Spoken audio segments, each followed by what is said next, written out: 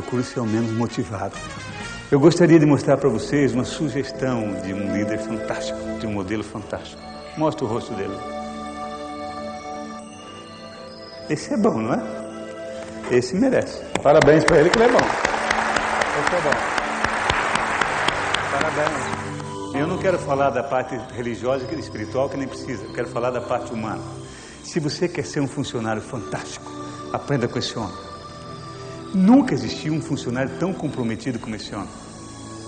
Esse homem ganhou uma missão do chefe dele, do líder dele, do pai dele, foi lá e cumpriu. Ele não quis saber se era fácil, se era difícil. Ele foi lá e cumpriu.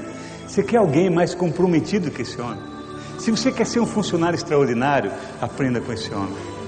É o funcionário mais extraordinário que alguém poderia ter. E se você quer ser um líder fantástico, você quer ser um líder muito além da excelência, aprenda com esse líder. Esse homem pegou 12 funcionários sem talento nenhum e fez deles pessoas que mudaram o mundo. Ele era um líder tão fantástico que ele conseguia lapidar o que as pessoas tinham de bom. Ele tirava o que as pessoas tinham de bom e fazia ela acreditar que elas podiam ser melhor. Esse líder, ele conseguia fazer as pessoas se sentirem amadas. Nunca um funcionário se sentiu tão amado como os funcionários desse homem. E esse homem era um líder fantástico. Ele não ficava no ar-condicionado, ele não ficava na tenda. Ele ia junto, ele acompanhava, ele sentia o mercado. Você pode até não acreditar nesse homem, mas nós temos que admirar esse homem.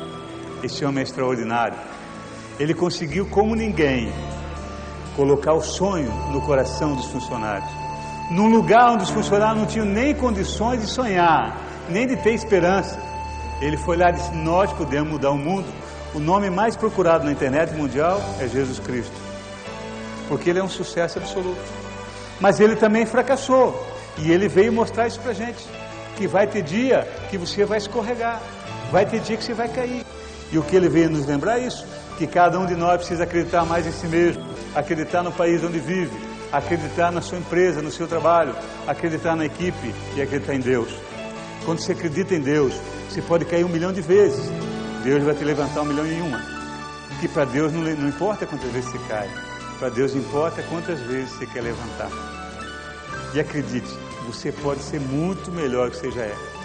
Procure o topo, porque produtividade, qualidade, excelência, isso é obrigação nossa.